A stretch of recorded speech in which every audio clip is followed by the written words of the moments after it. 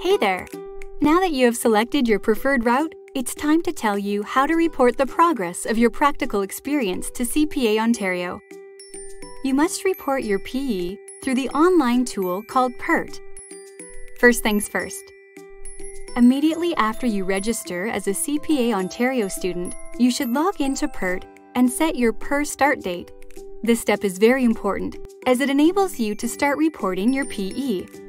Delaying your reporting can result in not being able to claim some of your relevant work experience.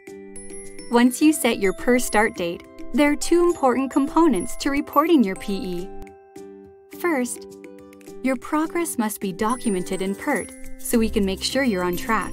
Doing so will enable you to get valuable feedback from your mentor and CPA Ontario.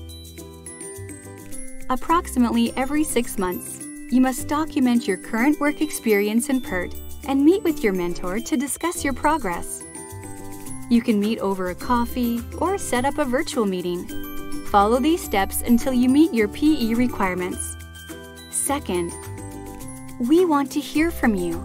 We want to know about the technical and enabling competencies you are developing in your current role and how you are utilizing these skills. You will need to report this progress to us CPA Ontario, but this is done differently depending on your route. If you're in the PPR route like Alice, you only have to report to CPA Ontario once, at the end of the training program.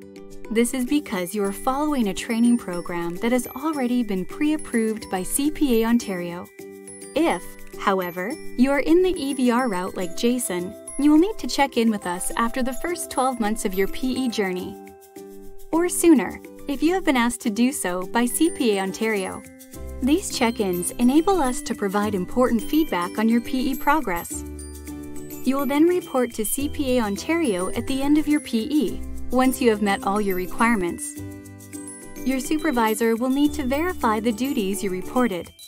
Additional reporting will be required if you change employers, if your role and responsibilities have changed significantly, or if you're requested to do so by CPA Ontario. Next up, why do you need a supervisor and mentor?